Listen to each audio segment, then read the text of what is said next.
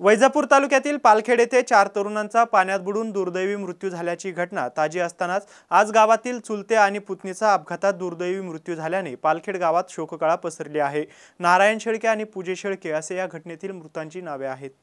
याबाबत मिळालेल्या अधिक माहितीनुसार वैजापूर तालुक्यातील नागपूर मुंबई महामार्गावर बिरोबा मंदिरासमोर वैजापूरहून पालखेडला दुचाकीवरून जात असताना लासूरहून वैजापूरच्या दिशेने येणाऱ्या बोलेरो गाडीची समोरासमोर धडक झाली. या धडकेनंतर बोलेरो गाडीने दुचाकीला सत्तर फूट लांबपर्यंत फरफडत नेल्याची माहिती प्रत्यक्षदर्शींनी दिली आहे. या अपघातात दुचाकीस्वार नारायण शेळके आणि त्यांची पुतणी पूजा शेळके हे गंभीर जखमी झाले होते. जखमींना जवळपास असलेल्या वस्तीवरील नागरिकांनी तात्काळ उपचाराकरिता वैजापूर येथे उपजिल्हा रुग्णालयात दाखल केले. मात्र डॉक्टरांनी या दोघांना तपासून मृत घोषित केले.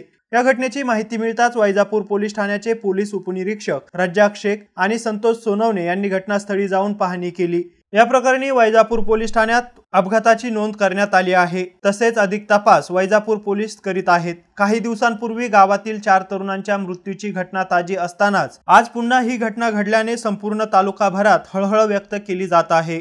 शैलेंद्र खैरमोडे एमसे न्यूज वायजापूर.